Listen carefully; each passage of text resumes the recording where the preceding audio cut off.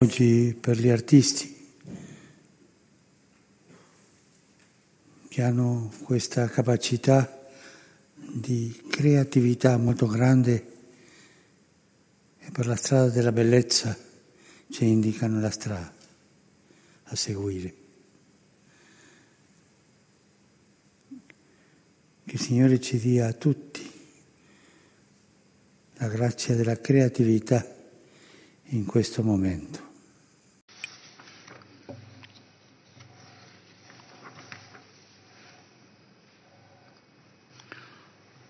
La gente che aveva ascoltato Gesù durante tutta la giornata e poi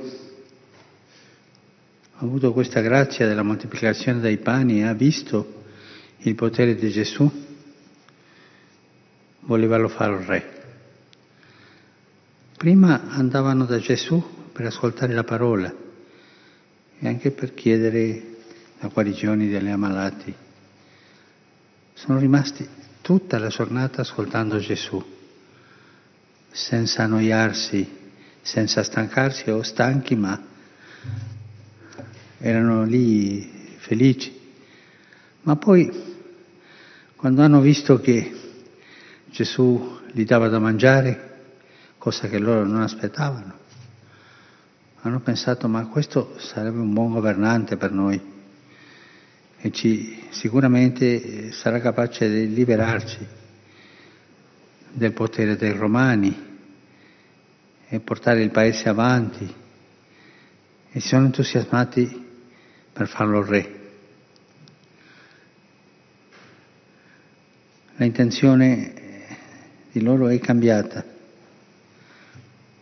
perché hanno visto e hanno pensato bene perché una persona che fa questo miracolo, che dà da mangiare al popolo, può essere un buon governante. Ma avevano dimenticato in quel momento l'entusiasmo che la parola di Gesù faceva nascere nel loro cuore. Gesù si allontanò e andò a pregare. Si vede che quella gente è rimasta lì e il giorno dopo cercavano Gesù perché deve essere qui, dicevano, perché avevano visto che non era salito sulla barca con gli altri.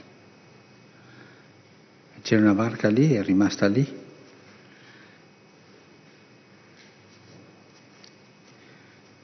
Ma non sapevano che Gesù aveva raggiunto gli altri camminando sulle acque. Così si sono decisi di andare dall'altra parte del mare, Tiberiadi, a a, a cercare Gesù e quando l'hanno visto, la prima parola che gli dicono, Rabì, quando sei venuto qua? Come dicendo, non capiamo, questo sembra una cosa strana. E Gesù li fa tornare al primo sentimento, a quello che avevano loro prima della moltiplicazione dei pani, quando ascoltavano la parola di Dio. In verità, in verità io vi dico, voi mi cercate non perché avete visto dei segni, come all'inizio, no? I segni della parola che li entusiasmavano, i segni della guarigione, non perché avete visto dei segni, ma perché avete mangiato di quei pani e vi siete saziati. Gesù svela l'intenzione di loro, ma è così, avete cambiato di atteggiamento. E loro, invece di giustificarsi, no, Signore, no, sono stati umili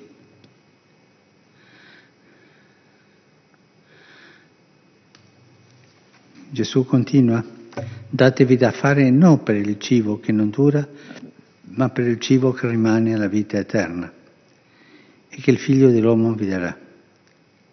Perché su di lui il Padre ha messo il suo sigillo. E loro, buoni, dissero di che cosa dobbiamo compiere per fare le opere di Dio. Che crediate nel Figlio di Dio.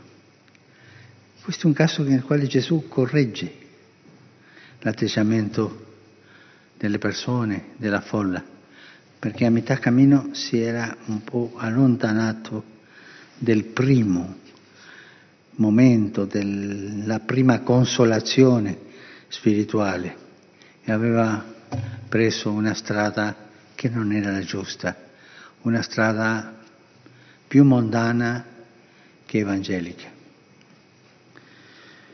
Questo ci fa pensare tante volte che noi nella vita incominciamo una strada alla sequela di Gesù, dietro Gesù, con, con, i valori del Vangelo, e a metà strada ci viene un'altra idea, vediamo qualche segnale e ci allontaniamo e ci conformiamo con una cosa più temporale, più materiale, più, più mondana, può darsi e perdiamo la memoria di quel primo entusiasmo che avevamo avuto quando sentivamo parlare Gesù. Signore fa tornare sempre al primo incontro, al primo momento nel quale Lui ci ha guardato, ci ha parlato e ha fatto nascere dentro di noi la voglia di seguirlo. Questa è una grazia da chiedere al Signore, perché noi nella vita sempre avremo questa tentazione di allontanarci, perché vediamo un'altra cosa, ma quello va andare bene, ma quell'idea è buona, eh, ci allontaniamo. La grazia di tornare sempre alla prima chiamata, al primo momento non dimenticare, non dimenticare la mia storia, quando Gesù mi ha guardato con amore e mi ha detto questa è la tua strada.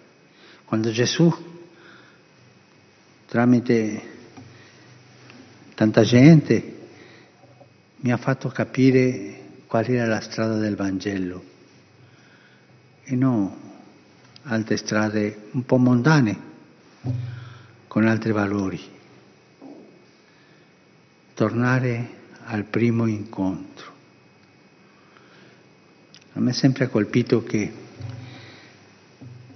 le cose, tra le cose che dice Gesù alle donne nella mattina della resurrezione, eh, andate dai miei discepoli e ditegli che vadano in Galilea, lì mi troveranno.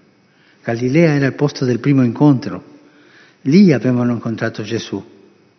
Ognuno di noi ha la propria Galilea dentro, il proprio momento nel quale Gesù si è avvicinato e ci ha detto seguimi.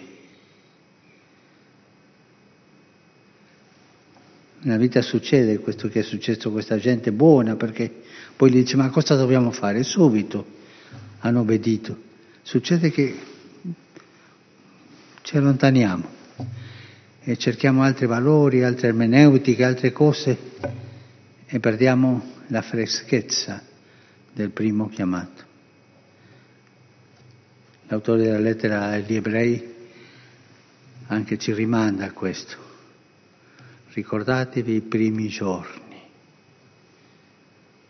La memoria, la memoria del primo incontro, la memoria della mia Galilea quando il Signore mi guardò con amore e mi ha detto seguimi.